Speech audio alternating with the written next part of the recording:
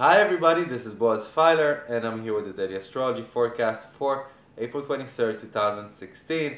What a beautiful moon we must have had last night. I hope I was wise enough to go out and watch it at a beautiful beachside or something because you know all these um, forecasts are being recorded ahead of time. I'm actually recording this about a month ahead of time.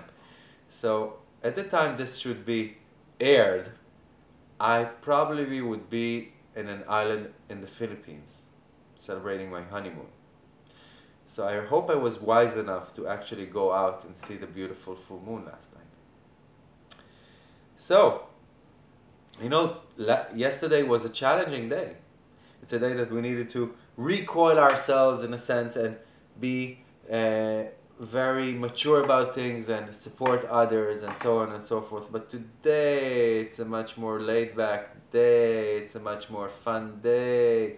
Today we could enjoy ourselves. You know, we start this morning with sextile to Jupiter, then there's a sextile to Pluto in around 1300 hours Central European time. That's around 800 hours Eastern Standard Time.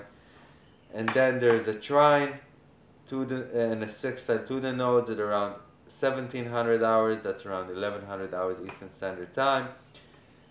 You know, so all this day is, is paved with beautiful aspects in a sense that really helps uh, help us enjoy this day and, and, and, and feel good about ourselves and about our surroundings during this day.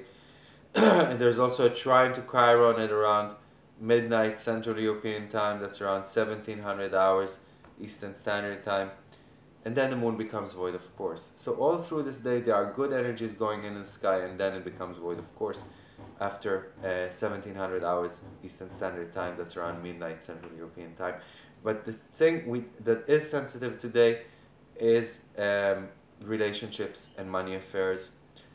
Uh, we have uh, quincunx to venus from the moon today. We need to cleanse out some of the, our behavioral patterns within our relationships or within the way we deal with our monetary affairs.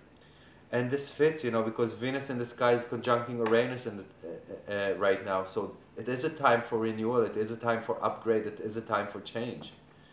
So please clean out whatever needs to be cleaned out, whatever doesn't need to go on with you towards your future. It's a good day of cleansing for that matter. So, thank you for listening. I'll see you all tomorrow. This is Boaz Fyler. Goodbye.